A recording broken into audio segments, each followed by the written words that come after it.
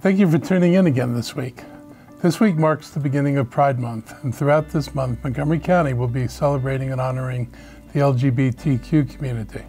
To mark the beginning of Pride Month, I raised the Pride flag in downtown Silver Spring this morning. I want to thank the community members that came out, as well as our red shirts who were there and for all they do in Silver Spring beyond that. I look forward to joining Council Vice President Evan Glass and the County Council next Tuesday for our County Pride flag raising here in Rockville.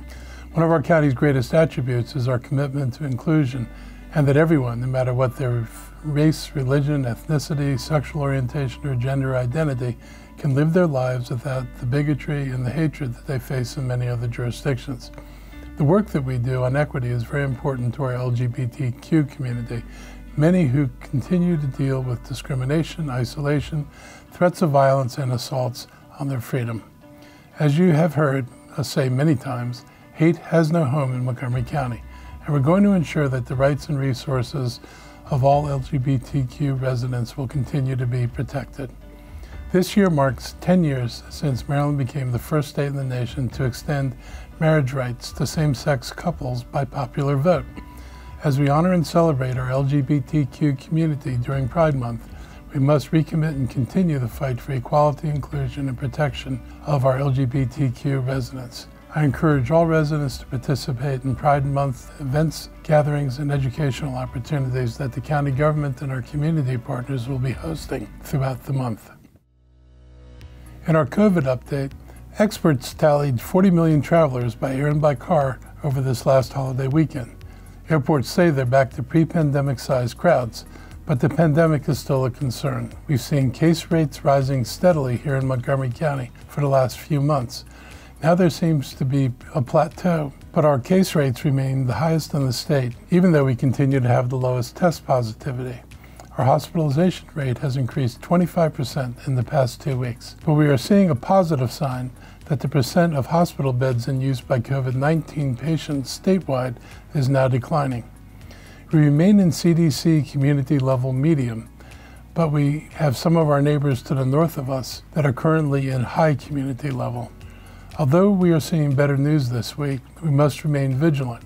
The incoming B4, BA4, and BA5 could reverse these trends. They appear to dodge some of the immunity generated by BA1 and BA2 infections. So people infected with earlier versions of Omicron could still contract the more recent subvariants. That will likely fuel more cases throughout the summer. We continue to strongly recommend everyone to get tested if they've been exposed or are feeling ill. And getting your booster shot is the best way to ensure a safer summer, and it's as important as ever. We're seeing that those not vaccinated are catching the current variants at twice the level of those who are vaccinated. And these vaccines are just waning. So just because you were vaccinated last year, you need to get your booster this year. Finally, continue to carry that mask around in case you need it, such as in a crowded indoor space or on public transportation. Testing, vaccinating, and masking they all work, and it has helped and will continue to help keep everyone safe. Last week's mass shooting in Texas has required us to look at our readiness here in Montgomery County. We're making sure the parents, students, and teachers feel safe at school. This week I joined Dr. McKnight, Board of Education President Wolff, Council President Albornoz, and Chief Jones on a virtual press conference to address questions and concerns in our community. I appreciate the superintendent's efforts to organize and communicate clear information and tips for parents during these concerning times. I appreciated our police chief, Marcus Jones, making it clear that our police and school teams are in regular contact and constantly reviewing security. Our police officers are well trained to deal with this type of situation, and they have a strong partnership with our schools to make sure that best practices are followed, including locked doors and monitored entrances. According to the Maryland Center for School Safety, all of MCPS schools have adequate law enforcement coverage, and we are the only large jurisdiction in the state that meets that criteria. It is important that we are prepared, and it is important that we push as much gun control as possible at the state and federal level.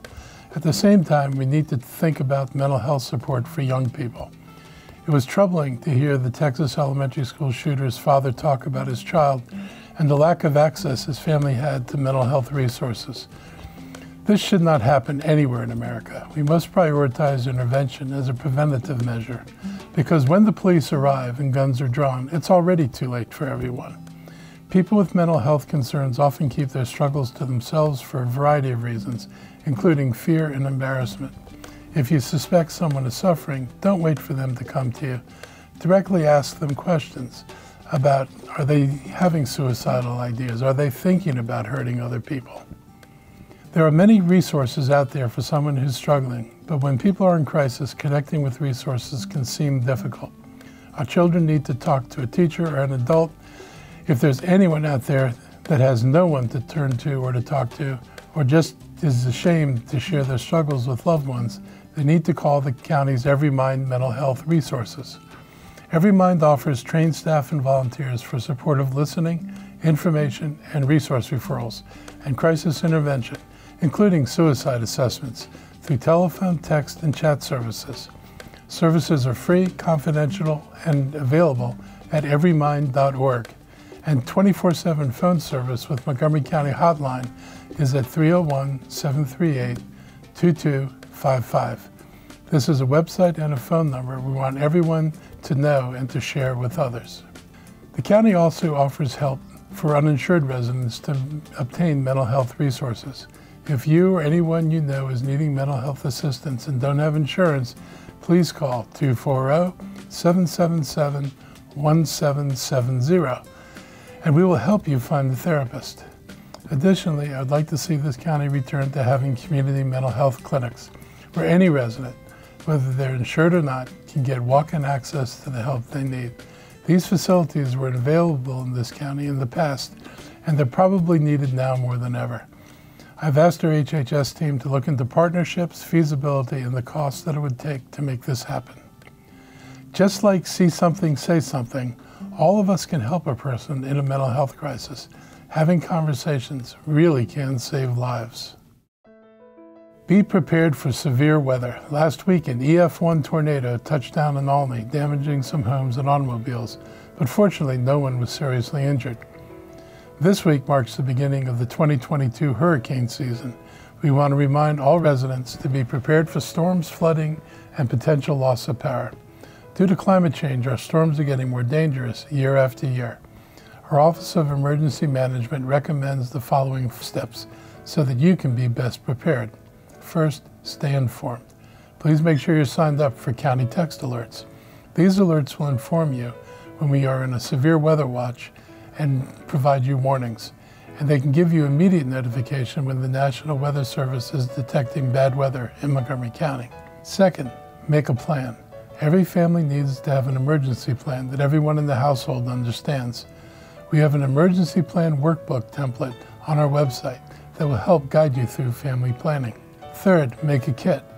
Every home should have an emergency kit ready in case the power goes out, especially for a long period of time. These kits include several days supply of food and water, flashlights, first aid kits, a battery powered or hand cranked radio, activities for your kids, and supplies for your pets. Fourth, get involved and help your community in being prepared. There are classes that our emergency management department offers for free and make sure you look out after and check in on your family, friends, and neighbors, especially those who are elderly, live alone, or have limited mobility. Congratulations to the class of 2022. This week begins the start of MCPS graduation season, and I congratulate the class of 2022. These students were robbed of some of the best and most important years of their student life due to the pandemic, but they were resilient and they have succeeded and persevered, and their adaptation during unprecedented times will be recognized for many years to come. This is a very special class. We look forward to watching them do great things. Thanks for listening, and have a great week. See you again next week.